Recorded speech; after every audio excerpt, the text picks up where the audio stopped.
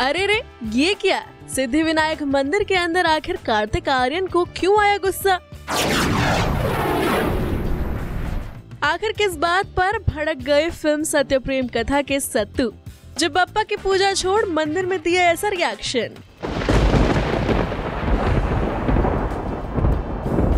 जी हाँ हाल ही में E twenty four के कैमरे में कार्तिक का ये एंग्री वाला रिएक्शन कैद हुआ है। जिसमें वो सिद्धि विनायक मंदिर के अंदर किसी पर गुस्सा करते नज़र आ रहे हैं। जिसके बाद हर कोई ये जानना चाह रहा है कि आखिर ऐसा क्या हुआ? जो हमेशा हँसते मुस्कुराते हुए दिखने वाले एक्टर इस तरह मंदिर में गुस्सा करने लगे। तो बता दें कि कार्तिक वीडियो में जिस पर भड़कते हुए नज़र आ रहे हैं, वो कोई और नहीं, बल्कि पेपराजी हैं। दरअसल बीते दिन कार्तिक की फ़िल्म सत्य प्रेम की कथा रिलीज़ हुई है। ऐसे में अपनी फ़िल्म के रिलीज़ होते ही कार्तिक भगवान गणेश का आशीर्वाद लेने के लिए सिद्धि विनायक मंदिर पहुँचे, जहाँ से उनका ये वीडियो सामने आया है। वीडियो की शुरुआत में कार्तिक अपनी कार से उतरकर सिद्धि विनायक मंदिर के अंदर जाते नज़र आ रहे हैं। इस दौरान वो पिंक कलर की शर्ट और डेनिम जीन्स पहने काफ़ी कूल दिखाई दे रहे हैं। मंदिर जाने के दौरान तो वो काफ़ी खुश नज़र आ रहे हैं। तभी तो देखिए किस तरह वो फैंस के साथ स्माइल करते हुए सेल्फी खिंचवाते नज़र आ रहे हैं। वीडियो में देखा जा सकता है कि फैंस कार्तिक आर्यन के साथ एक सेल्फी लेने के लिए कितने बेताब हैं।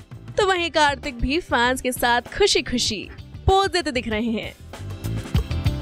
इसके बाद वीडियो में देखा जा सकता है कि जब कार्तिक मंदिर के अंदर पहुँच जाते हैं तो पंडित जी पहले उन्हें एक पीला पटका उठाते हैं, फिर उनके माथे पर तिलक लगाते हैं। इस दौरान कार्तिक गणपति बप्पा मोरिया का जयकार लगाते भी दिखते हैं।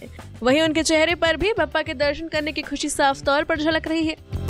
इसके बाद पंडित जी उनके हाथ में नारियल का प्रसाद और फूलों की माला थमाते हुए नज़र आते हैं।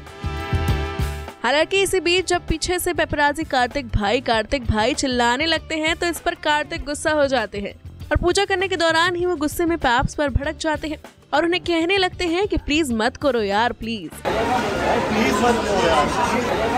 प्लीज़ मत करो यार। वैसे तो आमतौर पर आपने बाकी सेलेब्स को मंदिर के अंदर भी पोज करते हुए देखा होगा लेकिन कार्तिक इनसे अलग है।